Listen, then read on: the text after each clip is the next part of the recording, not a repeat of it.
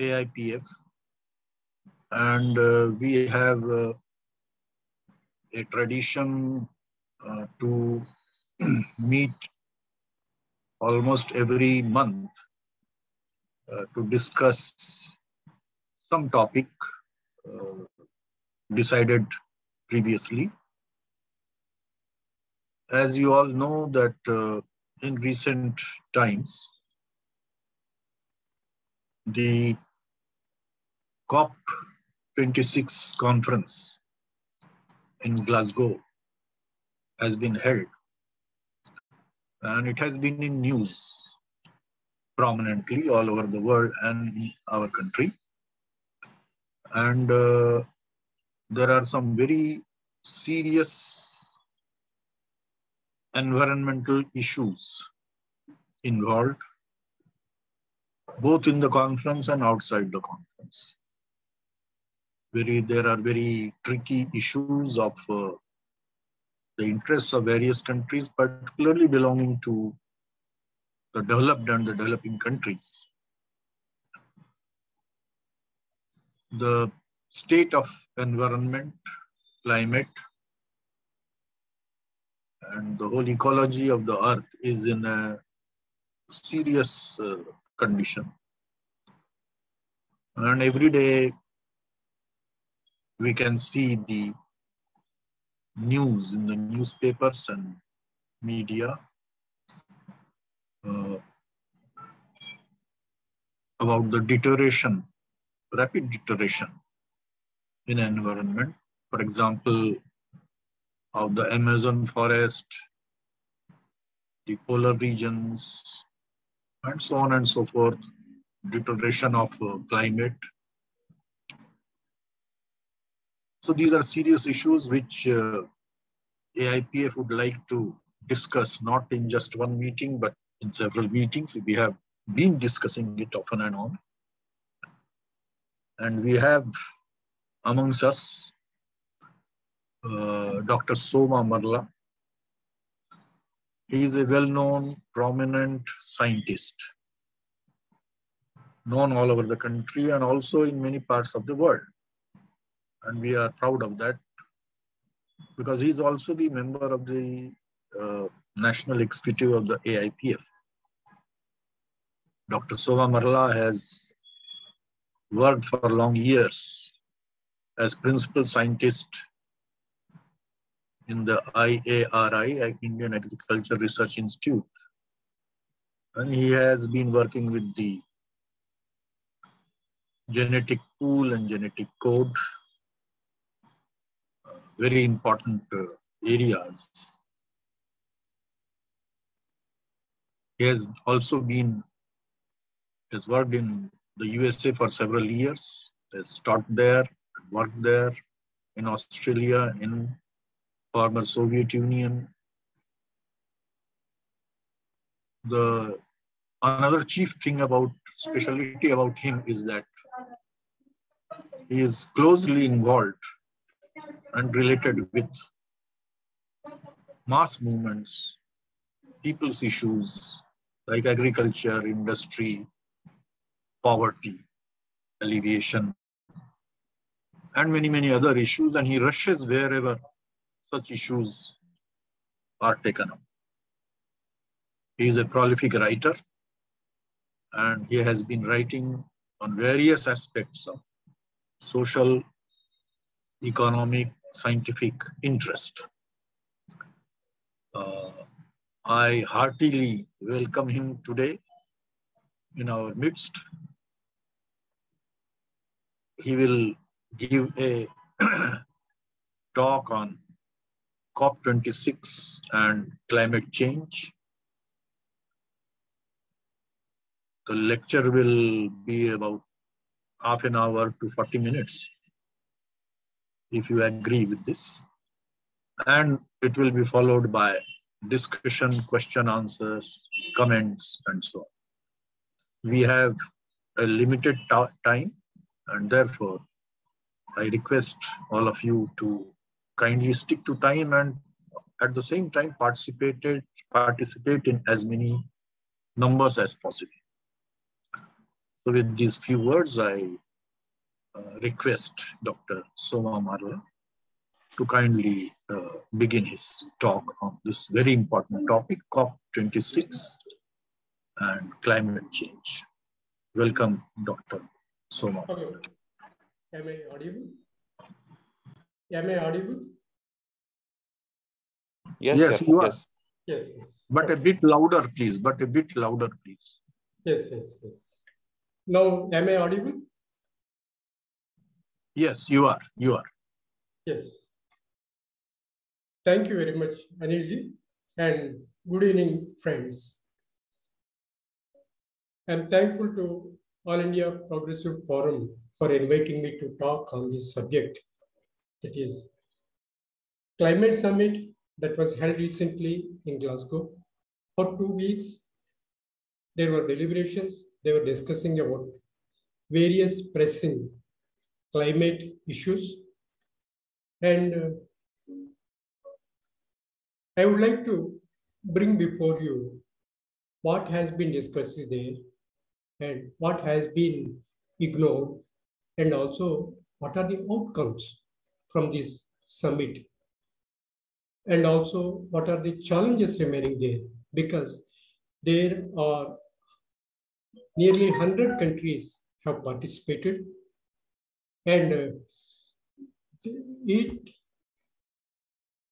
was held at the outset of two major things. One is currently there is a big energy crisis, of course, artificially created. During the pandemic time, almost for one and a half years, economy in most of the world was paralyzed. So the oil and gas and these business cartels didn't have business actually.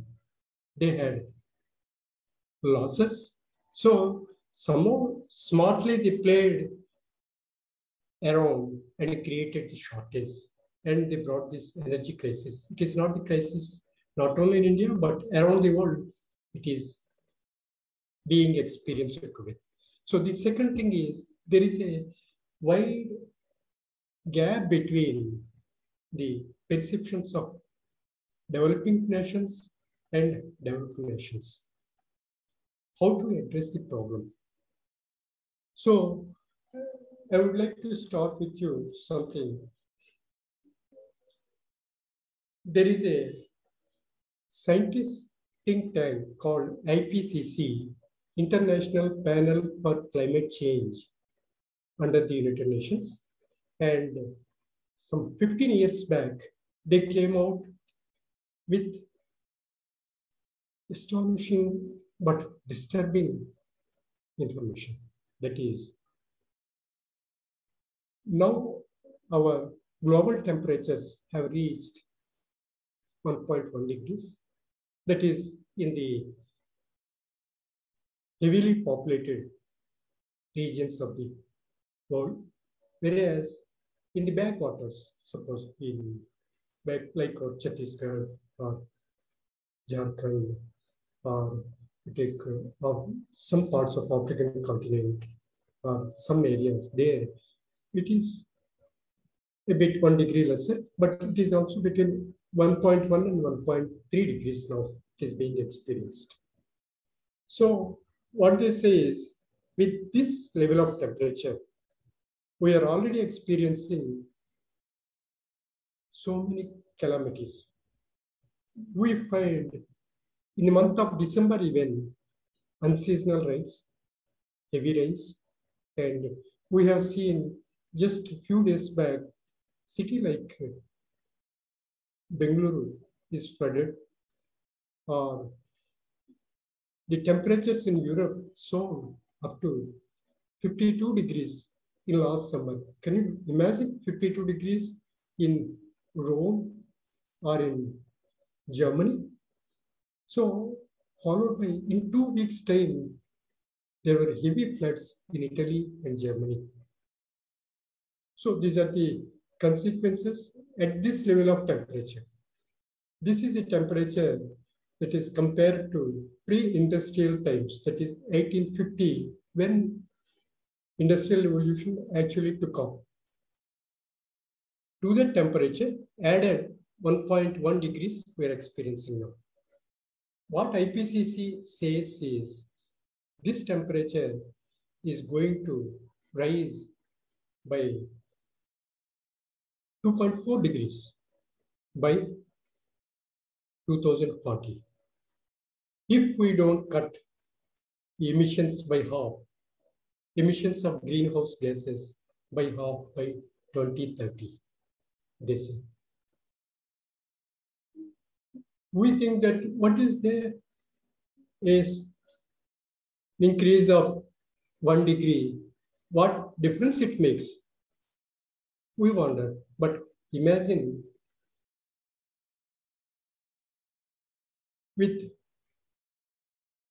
two degrees of temperature, the sea level rises by 15 meters.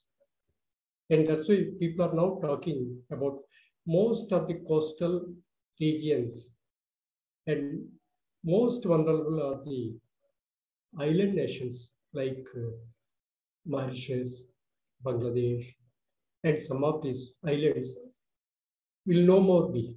They will be submerged in the sea, actually. So that sort of difference it makes. So what they say is,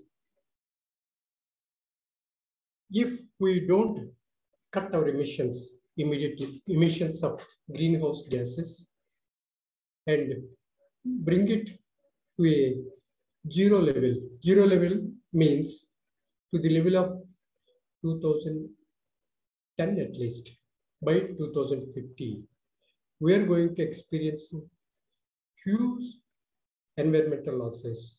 And uh, so in this, they suggested several recommendations and all that. We're going to look at it. First, I would like to take you to Gauravji. Could you play the PowerPoint?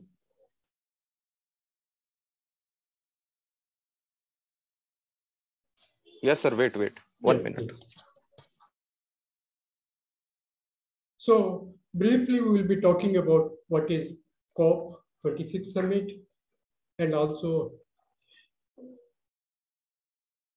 and what are the issues discussed there and followed by what are the other climate summits so far have been held and later let me wait for the PowerPoint. It is coming, please.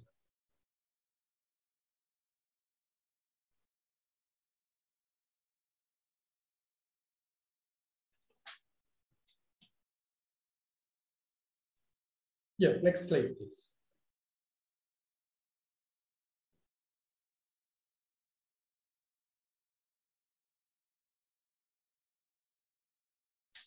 Yeah. So we're going to first look at some basic concepts, followed by is what are greenhouse gases and what are these emissions and how climate affects ecology on our planet and equity and climate justice because developed and developing nations they're not releasing gases into atmosphere equally. There are big differences among them. And then comes the question of equity and climate justice. And then comes carbon colonialism and green capitalism. And the next aspect will be what are the science suggested solutions? Be uh, what are the mitigation and adaptation measures, and what are short-term, long-term measures. And finally, I will take you to what is the Marxist way of solving these problems. So next, please. Next slide, please. And uh, so basically, the first environmental summit was held in Rio in Brazil in 1992. There, they said the planet is getting hot and hot. It is very rapidly it is getting on. So we have to stop this. For that, we have to halt global warming by cutting the greenhouse gases.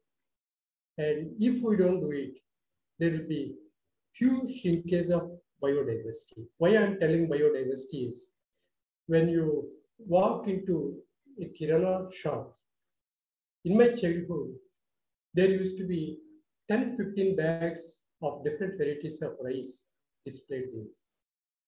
Now, if I go to any kirana shop, hardly I find two or three bags, two or three varieties. What happened to these dozen varieties remaining there? Or if you walk into market in summer season, earlier in my childhood, when I was going with my dad, there used to be some 20 or 25 varieties of mangoes available, different types, different flavors and all the things. Now, if you look, hardly three or four varieties of mangoes are there. What happened to them? Because we lost them. Because climate is changing, there are no more bearing fruits. So farmers stop cultivation. And so that is biodiversity. And also another fact is every third fish has disappeared. Now farm, the fishermen in Orissa, they stopped fishing and they're increasingly migrating to Gujarat for fishing. So there are no fish in the ocean itself actually. So the second point is the we have to cut gases so as to halt the temperature at 1.5 degrees. And the third one is the to halt the gases, they have developed different mechanisms and also rule. Because people might say, now we see UK, Germany, and everybody saying that our prime minister also went and pledged to cut the gases and also to bring zero level by 2070 actually. So they may say, but in reality, in real world conditions, they may not be able to do it. So there is a rule book also. And also they said that in Rio, categorically, there is differential responsibilities. You can't say everybody to cut their carbon space equally because there are some countries, rich countries, which polluted much and brought this disaster as we see today. But there are also some poorer countries where their contribution to climate change and destruction is lesser. So the responsibility should be proportional insanity. So then, since then, every two years to review the progress of climate change, what are the mechanisms that have been adopted. There are COP summits, and this is the 26 COP26 summit that we have witnessed recently. And then in Paris in 2015, there was a very important climate summit was held, where they said that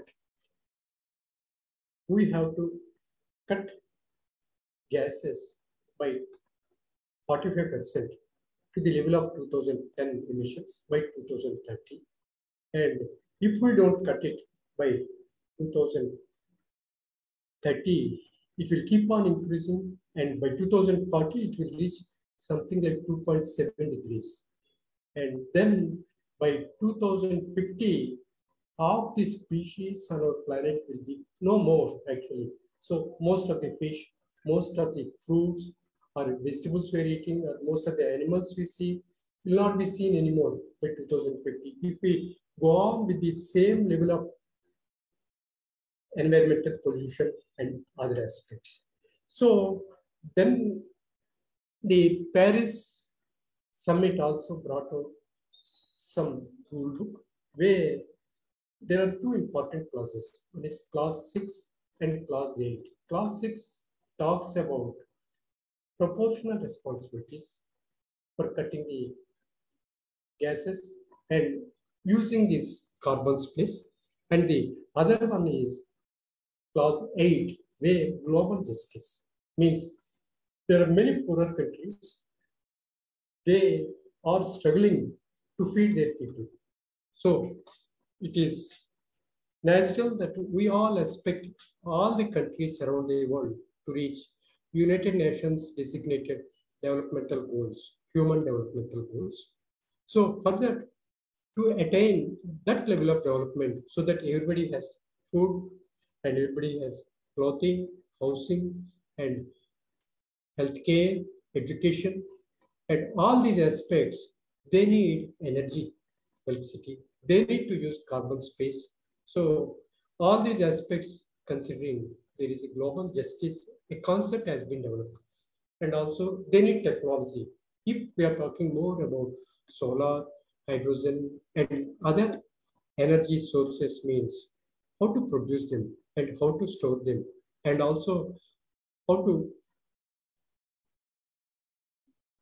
how to go for sustainable farming and other aspects. So they need some technological know-how that is in the hands of mostly Western countries. So how they could get access to them and all these things.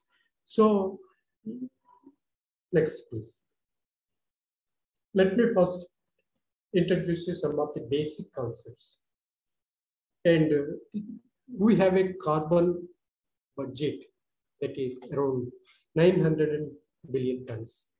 Carbon is not only the fossil fuels like petrol, diesel, gas, and coal, not only them, also whatever soil carbon is there, whatever is there in the earth, in, that is inside the soil at all, and that comes out while you're farming or in our bodies also, a vast proportion of it majority is carbon only, and also while we are using vehicles or producing energy in powerhouses or trees or farming or anim animals are growing or anything. So they will make the gases, carbon dioxide and other gases are emitted.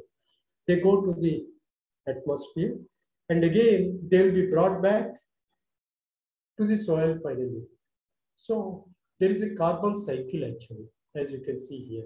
So whatever is emitted coal into the atmosphere, finally it reaches the soil. Then there, an active role is played by trees actually. What they do is, the carbon dioxide percentage now in the atmosphere is high, very high. It is 0.41 percent and it is rising also. It is above permissible levels of ppm, parts per million actually. Whereas the trees, they absorb carbon dioxide and they emit oxygen actually. So they're doing a big favor to us, not only the trees, the oceans also does the same, same work. In oceans, the mangroves and coral reefs and blue all they, all these things, they fix carbon and release oxygen. That's why there is some balance is being maintained in the atmosphere. And the next concept is next zero, net zero. Everybody is talking about net zero 2050. What is net zero? We have certain level of carbon available on this planet. And when it is circulating in the atmosphere and finally it is being brought back to soil and fixed into soil, then what is the ratio? How much carbon is emitted out of soil, earth, and how much is being brought back, fixed? That ratio is called net zero. Now, our Prime Minister or UK and USA, all the countries are pledging, China, they're pledging, okay, we'll reach zero levels, net zero levels of our emissions by 2050, 2060, 70 means they're going to reach certain levels that the greenhouse gases will no more be heating our planet. Means whatever carbon is emitted will be absorbed back, fixed back into the soil. That is a very favorable and very welcoming development actually. So further they are talking. So, and uh, then comes the climate justice. As I told you, not everybody is a culprit. Some countries polluted more actually, historically. So those polluted and they had acquired so much of energy and developed industrially and have high living standards. They want to cut emissions, but they're saying climate is a common problem. Is a problem in San Francisco, also in Congo. So let us cut the gases and cut the gases equally. Means let us phase out coal, fossil fuels, everything in equal proportions. For example, for countries like India or Sri Lanka or Congo to develop, they need energy. But 70% of energy now is produced in power plants using coal. So you can't operate ban coal. Fossil fuels, petrol and diesel for agriculture and also for vehicular traffic and all these things for industries, we need them. So we can't phase out. So we, not everybody, one size doesn't fit to all because their children, their elders, their ones. So we have to have different sizes. Means everybody should be given different pledges and different conditions where they could count the carbon emissions and other things. And next, please. So what are greenhouse gases? I tell you. When sun rays reach the earth, a part of it is absorbed by the earth by plants for photosynthesis and other things, and most of it is reflected back into atmosphere, into space. And in the meanwhile, what happens is the carbon dioxide, methane, and nitrous oxide, some of the gases, they trap the heat in the radiation, infrared radiation they trap, they absorb. So they don't let all the heat that reaches the planet to go back. Sorry, not all, but most of it to go back. So it is something like a, a blanket is wrapped around our planet by these gases actually. So that's why we get our planet getting hotter and hotter as the gases are increasing actually. So next. So these are the carbon dioxide that comes from fossil fuels, burning coal, and all these mm, fossil fuels, even gas also. And the next one is methane. Methane is emitted by cattle. And so much of it is, is this forms methane is nearly hundreds of times toxic than carbon dioxide. And uh, if anybody lives near Dwarka in Delhi, there is a Nala, there is a canal coming from outskirts of Delhi where there are many dairy farms that supply to Mother Dairy. So there, there are lakhs and lakhs of cattle is being raised and all this waste is passed into the canals and that Dwarka canal is there that stinks like anything and is full of methane and that finally comes and enter Yamuna River. That is the main culprit of course why Yamuna is being polluted. And then comes nitrous oxide. When we apply nitrogen fertilizers like urea to the fields. And that too, uh, some of our states like Punjab and Andhra and some districts in Telangana and Tamil Nadu, they are big guzzlers of nitrogen. And whatever nitrogen we put, for every 100 kgs of nitrogen we put to paddy fields or to sugarcane or to cotton fields, only 32 kgs is being used by the plant crop, rice crop or cotton crop. Rest is getting evaporated into atmosphere or polluting the river bodies or underground water. Nitrates actually. That's why cancer is more actually hmm. is increasing. That's lifestyle disease going. So nitrous oxide is also another culprit. Next, please. Next slide, please. Yeah, if you look at what is the proportion of these sectors of economy, if you look at electricity generation and power plants, there is, it is nearly 50%. No, sorry. It is nearly 25% for electricity generation. And for transportation, for vehicular traffic or aeroplanes and all the things, it is 25%. And rest of the industry, it is either the furnaces or steel industry furnaces or these boilers or anything, it is 25%. And whereas agriculture is contributing nearly to 10% and nearly 12% by household electricity needs and all the other things. So this carbon dioxide is not just by burning coal and other fossil fuels, but also from other activities also it is being emitted. And methane, as I told you, paddy fields and cattle, and nitrous oxide from fertilizers, we're overusing it actually. So gas emissions are linearly proportional to the temperature that rises. Means there is a direct relationship between temperature increase and level of gas, gases, greenhouse gases increase. Next, please. To next, please. So how do you count some 500 years back? How much was the temperature?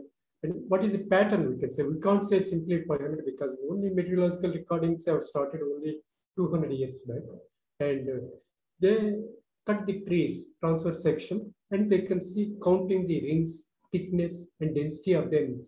They can see how temperature was there at those times actually. This is. So next please. So as I told you, we're all not equal and there are countries which emit higher gases and there are countries which this is China emit next to the developing nations they're coming and rest of the world is coming. Suppose if you look historically, as I told you, 1850, I take as a benchmark. I took this, this is not my data, I took it from IPCC, United Nations Climate Think Tank. From them, I took this slide, this information. And if you look at 1850, you can clearly see the developing countries were dominating even then because the, the, the industrial revolution, steam engines, and internal combustion engines have just started actually. Industrialization has took off just now then. And the same pattern continues by 2010 and by 2019 also. The share of developing countries is still increasing. That is interesting. Whereas the India's share is also increasing, of course. It is lesser, of course, and but it is also very much increasing. And these seven rich countries, followed by China, they are the big greenhouse gas emitters. They are the major culprits. Next, please. Next please. Yes, if you look at how disproportionate are the nations is, it is not a level playing field anymore. And you look at USA that uses 25% of all resources with just a population of 5%. But their contribution is 10.6, whereas Europe is 4.7, and China is catching up very rapidly, 4.9, and India is 2. And per capita also, if you take, and China, of course, is less than America. Of course, European Union, I don't have data. And whereas ours is 1 14th of what USA is emitting gases. Here I would like to say you one thing. That is, manufacturing industry,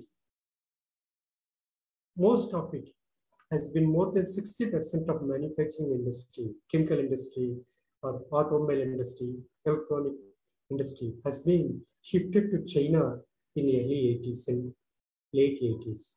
So what is happening is whatever American multinationals, they invested, shifted their industry to China. Now China is facing the problem, heavy pollution. Beijing city is next to India, or almost on par with a city like Delhi, actually. And China is experiencing this problem, while the resources are mostly uh, are plundered, looted from Africa or India. And manufacturing is mostly done in China. So they are the biggest polluter, they're rising also. And next is, if you look at the historical data, rest of the world is contributing to just 25 to 30 percent of the whole of the scenario. And 75 percent is by developed world. So what happens is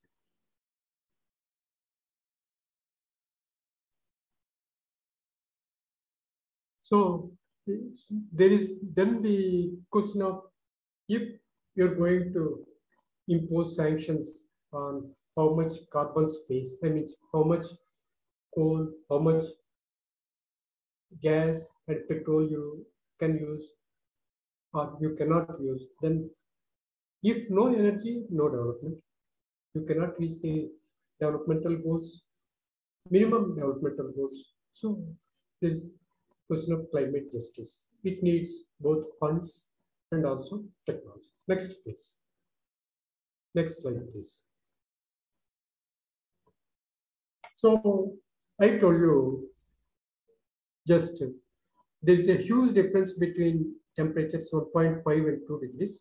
I would like to show you. This is again from IPCC. Number of hot days drastically increases from 1.5 to 2 degrees. And temperature, you can see how it increases. And again, the number of cold days also increase. Means people are saying getting hot and hot, getting it, planet is getting hotter, but the winters are also severe. Why is it? Because extreme weather conditions do occur. That is the reason actually. So extreme conditions occur. Next slide, please.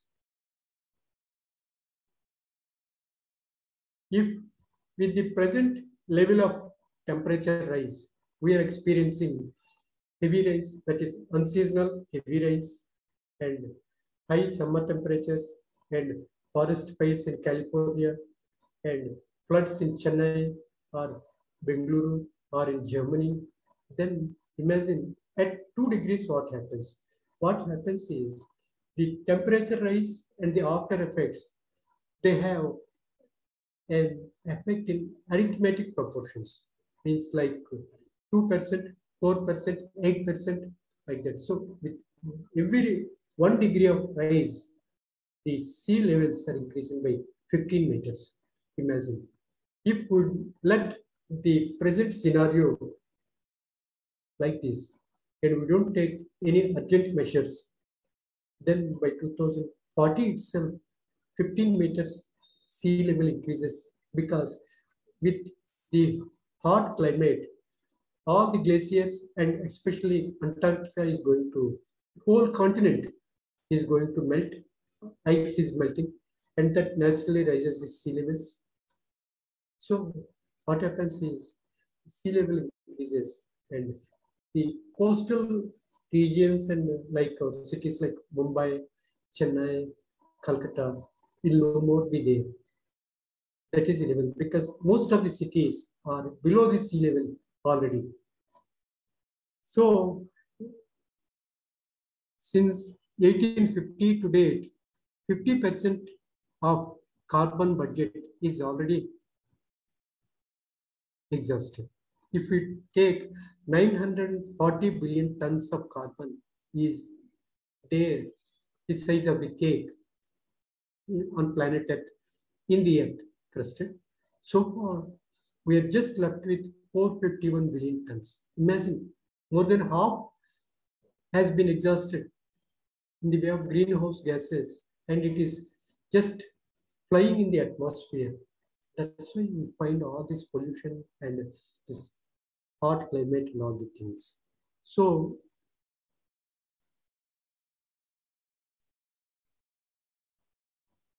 So there are some industry measures we have to go immediately and there uh, are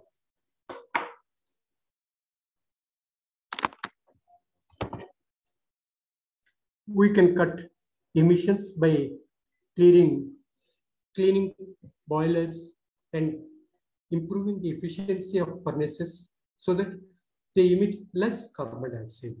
And also we can switch on to fossil fuels. And our Prime Minister has pledged that we'll be producing renewable energies like solar or hydrogen and all these alternative energies at the level of nearly 500 gigawatts by 2030, he said. And so other thing what he said is most of the energy consuming industries like steel and railways, they're going to be cut off their coal consumption and it will be replaced by them. It is very I'm very happy to say that if you look at a country like Germany today, they are already meeting nearly 40% of their energy needs using non-conventional energy, like so, solar or hydrogen energies. That too in industries like steel industry, they are making. They have the technology also there. And the what are the long-term measures? And we have to pay compensation in the way of carbon credits. Why carbon credits is, you take a tree, it emits nearly one ton of carbon dioxide. Sorry, and it it fixes, it takes in one ton of carbon dioxide from the atmosphere. It is a big advantage actually. So we have to grow more trees and forests. So if you take an average tree that you find on the roadside in Delhi, that average tree absorbs 48 tons of carbon dioxide in one year. 48 tons it absorbs. That's why people say grow more trees and all the things they say. And uh, so the forest cover we have to increase and industry, agriculture, transport, should switch over to 90% of fossil, 90% they should cut fossil fuels and switch over to other fuels, non-conventional energy fuels. So next, please. Next slide, please. Go to next slide, please. Next. So not industry or power plants, but agriculture is also a country and plants and trees, they not only fix, absorb carbon dioxide and fix it, but from agriculture side, these paddy fields or sugarcane fields, all the C4 plants, and also the cattle, they emit so much of methane actually. And that is much to toxic than carbon dioxide and other gases. And if you look at me fields and uh, nitrous oxide is, as I told you, hundreds of times, it's 300 times it is toxic than carbon dioxide in the sense that, and uh, we can improve nitrogen use efficiency by growing more pulses like uh, dal, dal and other pulses. And we they fix even nitrogen from the atmosphere. They also high rates of carbon dioxide they fix in the things. And also we should avoid using more and more nitrogen fertilizer. We could, should cut the fertilizer use. Next, please. Next, please. So one thing I would like to say, not only the victims are humankind, but small insects and birds and also microbes that are also equally have right to survive on this planet. So if you look at honeybees, we get fruits, all the food, thanks to honeybees and other insects. They're doing a lot of service towards humanity because they pollinate. And after fertilization only, we get all the grain, fruits, vegetables, and everything. So they're something like gods for us, actually. So this climate change is very rapidly declining the population of bees and that reduces the yields. That is one of the reasons that is things people say that the agricultural productivity, the yields from the farms will cut by 30% by 2040 even. So next please.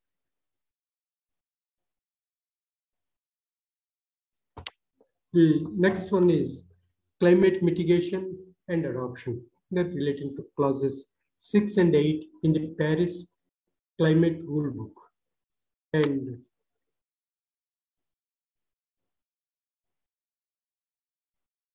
clean energy, renewables and all that, we should use more and more of them. And efficient agriculture, that is more sustainable and ecological farming. And reduce nitrogen fertilizers and grow and conserve carbon forests to trap more and more carbon dioxide and replace plastics with biodegradables and also efficient sewage treatment plants and filtering techniques because the wastewater effluents from industry also the gases in, at the chimneys of the industry they should be more efficiently cleaned and filtered. There are very developed, sophisticated technologies. They are available with countries like Sweden, Germany, USA, and other countries. And we have to filter in the sewage plants all the wastewater that is entering into rivers and oceans. What is happening is in the oceans, ocean bed, coral reefs, they're giving, they're increasingly getting bleached. Also, the seagrass, you know, people started eating seagrass also. One that is one of the health foods, of course. And also blue-green algae. These three candidates, they absorb more carbon dioxide and keep the temperature low and keep the oceans cool. Because if coral, reef, coral reefs and seagrass and blue-green algae declines, their population declines. Then sea temperature, ocean temperature rises. From this, what happens is the hot winds, they change the monsoon pattern. That's one of the reasons the monsoon pattern is disturbed and we get in the month of December or February heavy rains we should not be actually. So unseasonal rain, rains, what we call cyclones and all the things, because sea temperature is rapidly increasing and subsequently it is heating up the air currents and the air currents and they bring the clouds actually and they cause rains monsoon. The monsoon pattern is disturbed actually from all this. It's also a circle, big circle actually. And so these protect ocean beds. They one of the things is sewage plants are very much important there because if you let so much of chemical effluents, especially these detergents and also these nitrogen into sea. They, they bleach the coral reefs and they kill the seagrass and blue green algae. So the nature of our solution is mangroves. Mangroves means Hindi में इसको बोलते हैं कि कच्चा वनस्पति और इन Telugu they call Mada Adavalu, or in Tamil they call Satpula Prata. Means what it means, the live the seashores on the coastal belt and they don't let soil to erode and also they don't currents to come at high levels actually. Remember when tsunami was there in Tamil Nadu, wherever there are mangrove forests are there on the seashore, in Tamil Nadu or in Odisha or in Andhra, there was no tsunami, interestingly, because they helped us. They were, that was a barricade actually. So we should protect these mangroves very much against rising sea levels and submergence. Next slide, please. Please go next, please. So for that, there is climate fund and global and how it is being accessible to global south, that is poorer nations. And uh, so vulnerable island nations, they should get finance to grow mangroves and protect wall they have to construct. Course, there are some questions that if you build a wall means there you're using concrete, steel, so that of cement that is also contributing to high carbon emission and all the things they say. But we have to stop submergence. So uh, they have to build walls, of course, they have to build. And uh, early warning systems. Most of the countries, they don't have access to satellite information.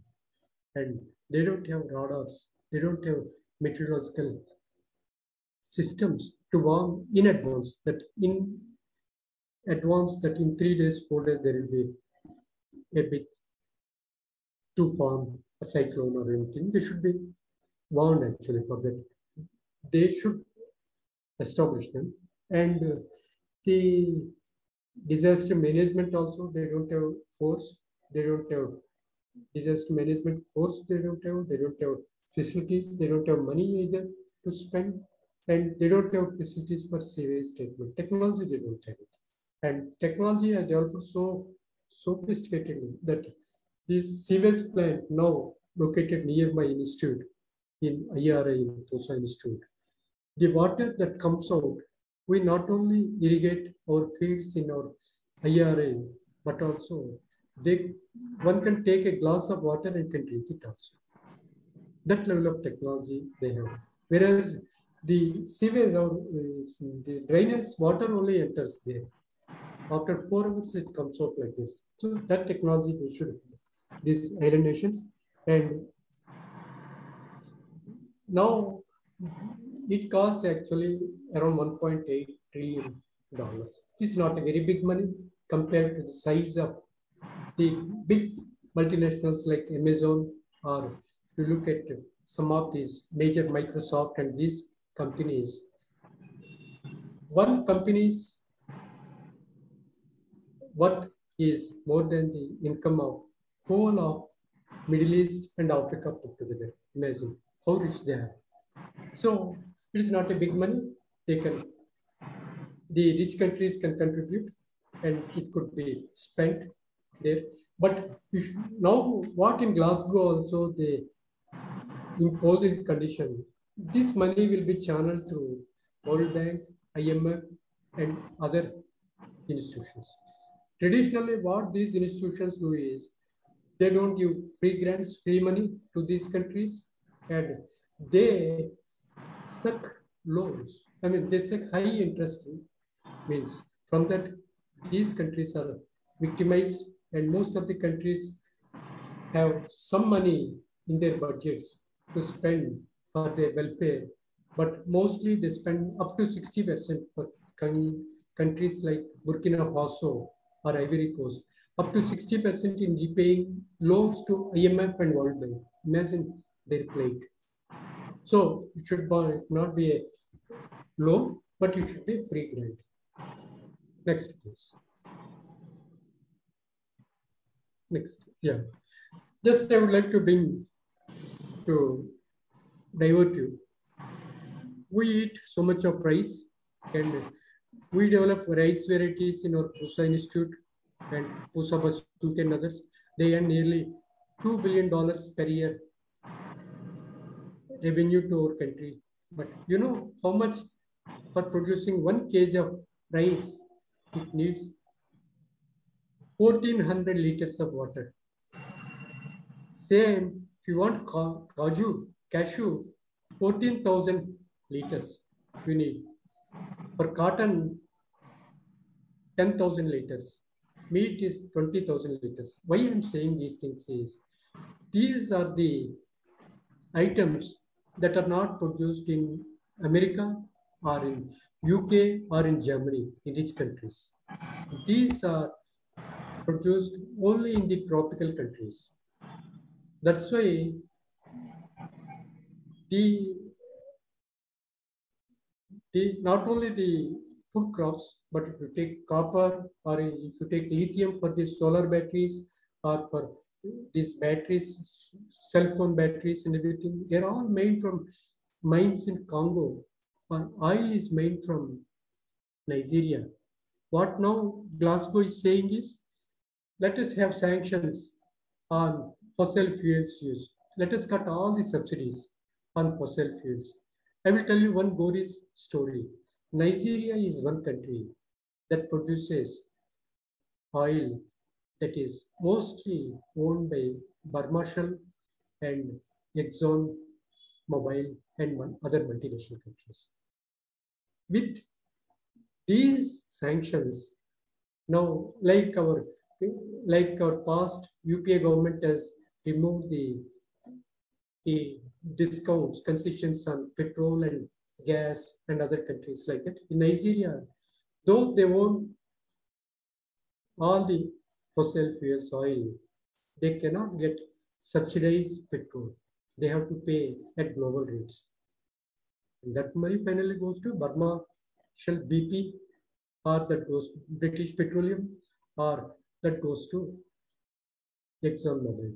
So that is the nature of colonialism. Colonialism did not end in 60s with liberation of all the African and Asian countries in other color, it is still continuing.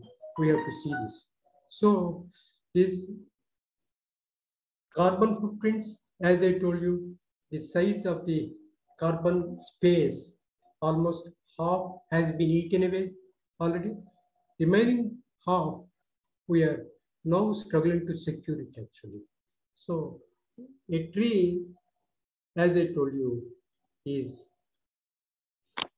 is very much absorbs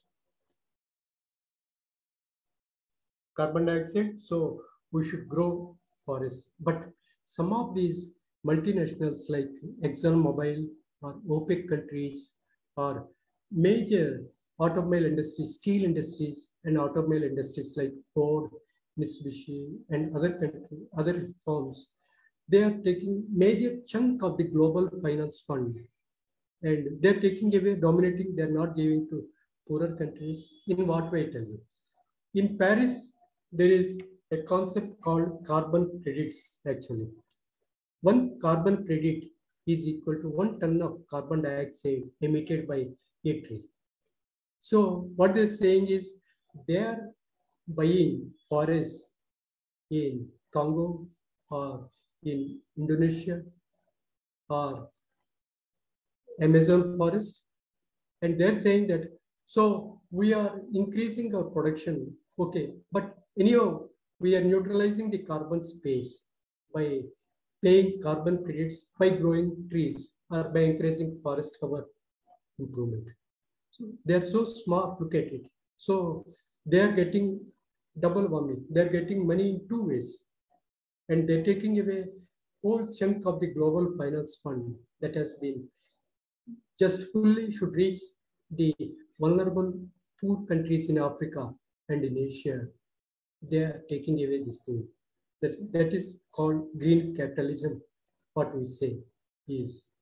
And so it is not a level playing ground actually. So there should be different sizes to fit to different people actually. And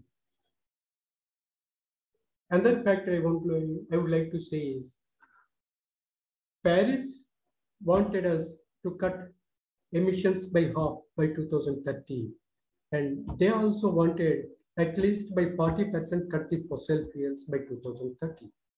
In reality, what is happening is in the name of energy shortages for making profits, these OPEC countries and other energy multinationals, they are now increasing their production by means oil production and gas production by two folds by 2030.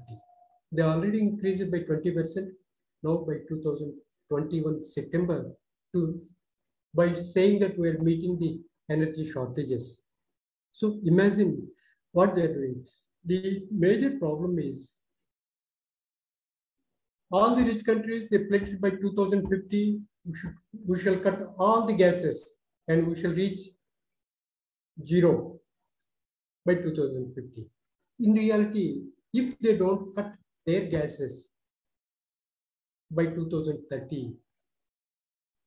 By 2040 itself, be the temperature will rise by 2.7 degrees. By 2050, by 4 degrees. Imagine, as I told you, with one degree of increase, how terri terrible will be the global climate and the sea levels increase.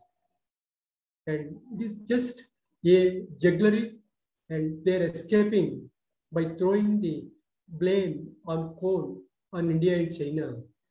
You phase out totally your coal production and impose fossil subsidies. Don't give any diesel subsidies to your farmers for your agriculture. But public transport, don't give any diesel on concessional rates. But you cut all the subsidies, they say. But is it possible? On the other side, they though they made loud pledges by 2050, in reality, they're not going to do anything by 2030. That is the hypocrisy of this. That's why I call them as colonizers. Colonization did not end in 40s and 60s. is still continuing. So next, please. So what is the way out actually? Yes, we have all this catastrophic situation. And the first one I would say is a democratic social audit on industry and energy cartels. Because they say something, do otherwise. They're very hypocritical.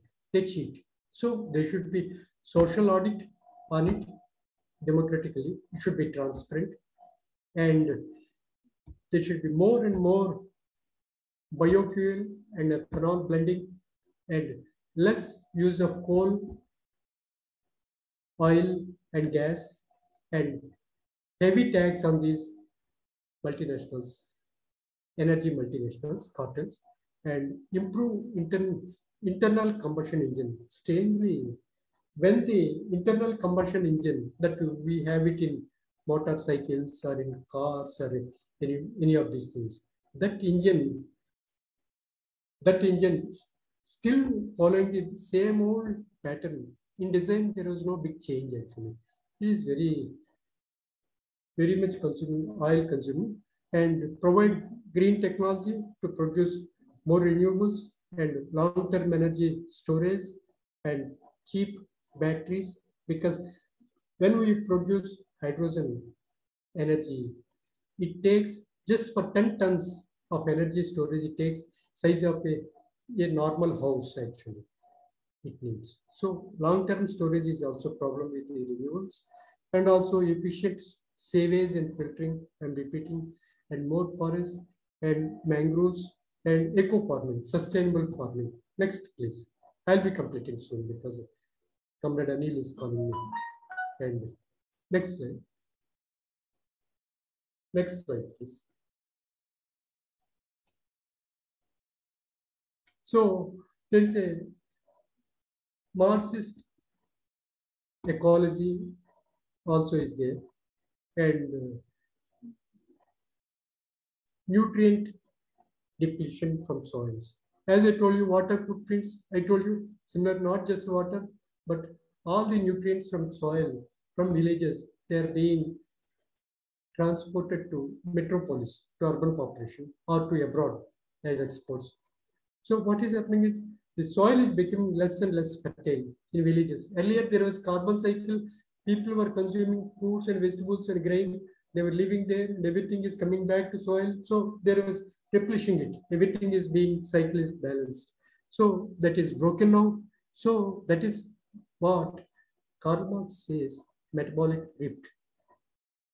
Though Karl Marx didn't name it as metabolic rift, and a well-known ecologist, Bellamy Foster, has named the Karl Marx concept as metabolic rift.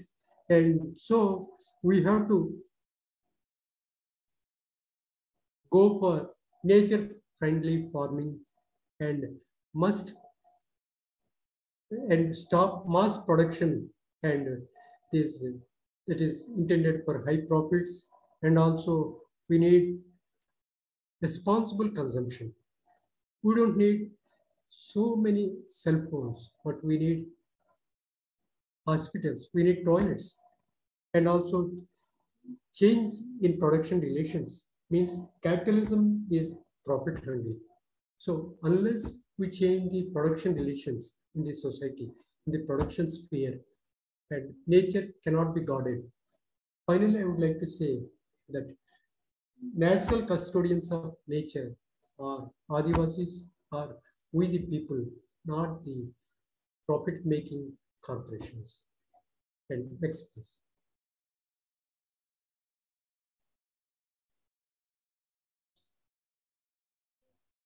Next, please. In short, COP26, in short, COP26 disappointed the world. And it is only a small step in climate change. And oil and gas MNCs, they escape by throwing coal blame on India and China. And rich nations avoided 2030 pledges by showing 2050 zero pledges. And developing voice of developing countries has been ignored in Glasgow. They were not given not just two minutes or three minutes time, not more than that actually. And at another talk show, it is. It's not anything concrete we got from this COP26, but we should put our resistance. So that's all from me. Thank you. If you have any questions, please ask me.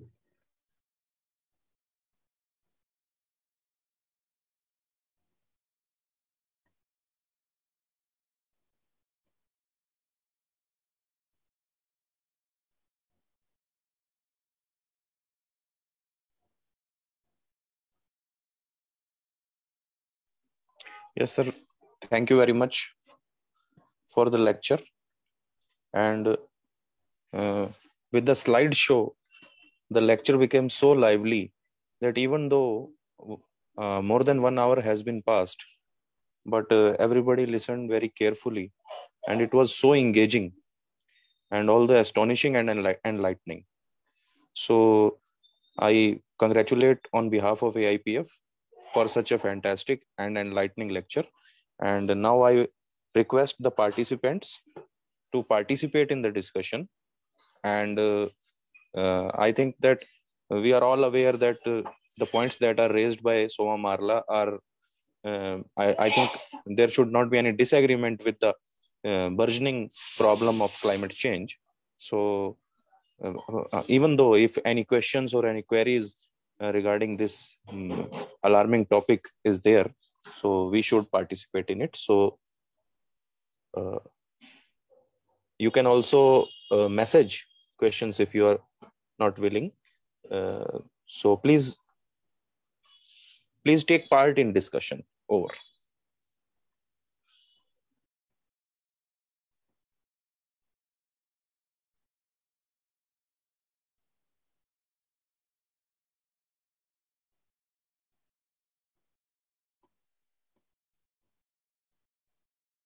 Yes, anybody if want to speak can raise his hand. Yes.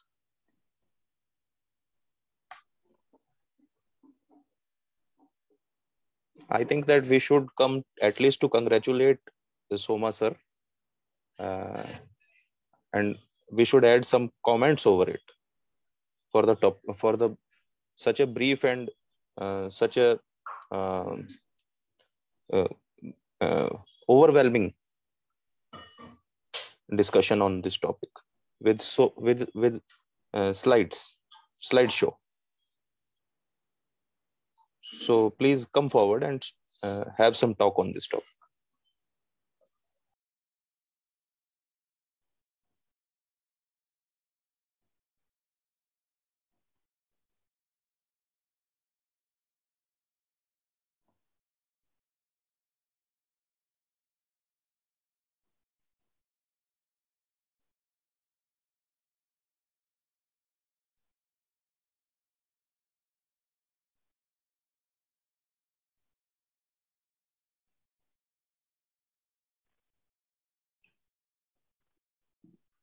Hello. Am I audible? Yes, yes, you're very much audible. Yes, please. Yeah, I am from Kerala. Yes. Uh, just listen the talk. It was very nice presentation regarding the global warming as well as the current scenario happening in the world, especially in India.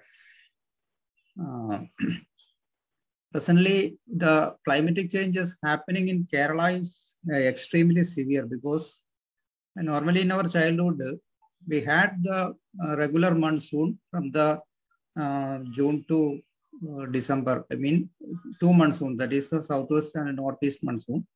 Now the entire pattern is changed because we are seeing horrible rainfall, I think, from 2018 onwards. And uh, so many calamities happened and uh, so many um, landslide happened and it caused a lot of destruction to the terrain that is the uh, our uh, geographical terrain. That is a reflection that is happening of because of the global warming. And still now it's raining. That is the situation. And uh, minor earthquakes are also happening along with this rainfall. Just after completing the uh, rainfall one or two days later earthquake was happening. Today also uh, one or two mild tremors recorded in Idukki district.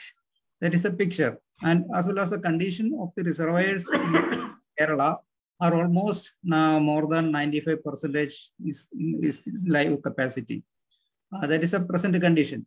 So uh, we, we as our organization, that is All India Progressive Forum, we have to formulate some strategies. We have to put before these strategies regarding this global warming and give much public awareness regarding this. And if you have to publish some uh, publish some short notice regarding this global warming, etc. I think that is a better uh, suggestion from our side. We have to work unite for getting uh, reduce for getting reduction in the carbon emission, etc. And that is a positive uh, thinking from our part.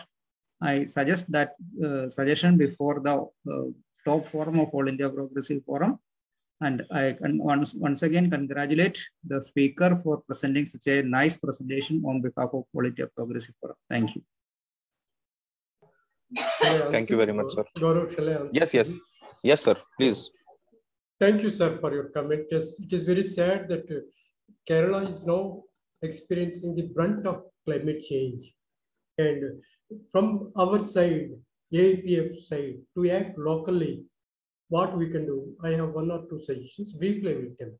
One is in locally, wherever the effluents are coming out from factories or municipal waste or anything, and they're getting into rivers or the sea, whether they have been treated or not, whether they have gone through sewage plant or the filtering they have undergone, that we have to monitor and we have to comply and we can even go for PIL or anything. That is one aspect of it.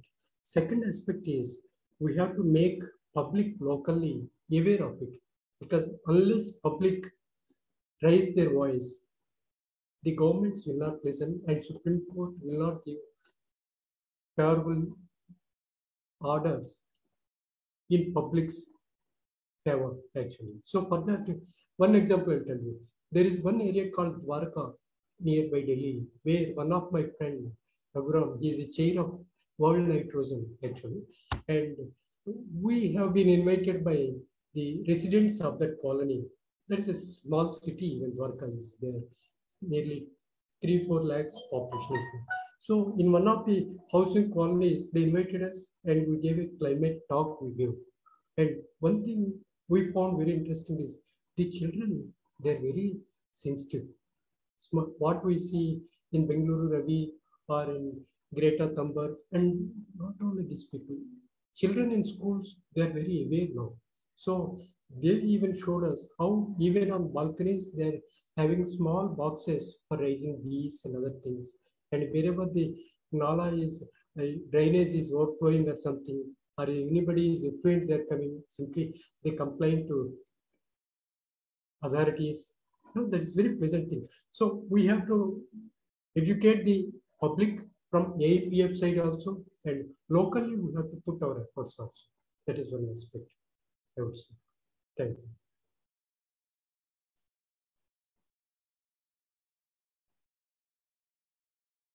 Thank you. That's from my side. Thank you. Thank you very much, sir. Chal rahi, chal. Hmm.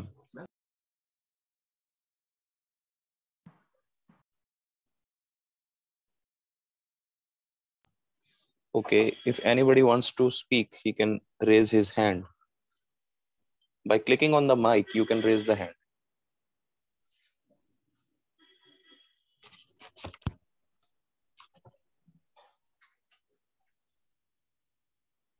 So they should participate actively. They should speak out as much as possible. Participants, all the participants must